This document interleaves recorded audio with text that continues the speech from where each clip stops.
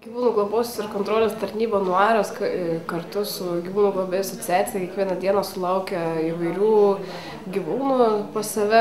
E, dažniausiai tai yra šunys ir katės, e, bet neretai tai būna ir paukščiai, kitą kartą ir ganėtinai reti gyvūnai patenka, e, tokie kaip lūšis, arba vat, netgi esam turėję ir nendrinę katę, kuri pateko į mūsų prieglapstį.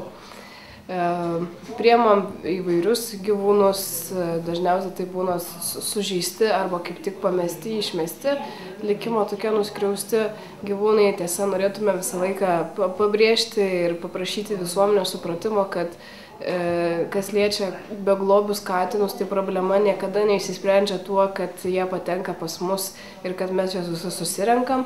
Geriausia būtų, kad visi kaimynai, nes kadangi katės dažniausiai beglobės e, būna prie daugiabučių namų, tai kad visi kaimynai bendradarbiaudami kartu tarpusavį tas katinus sugaudytų ir atgabentų pas mus, e, kad mes juos iškastruotume, kadangi nuaras visą vykdo tą veiklą, kad beglobius katinus jis kastruoja savo lėšomis dažniausiai nebent geranoriškai kažkas žmonės nori prisidėti ir katės būtų gražinamos į tą pačią vietą, iš kurios buvo pagautos.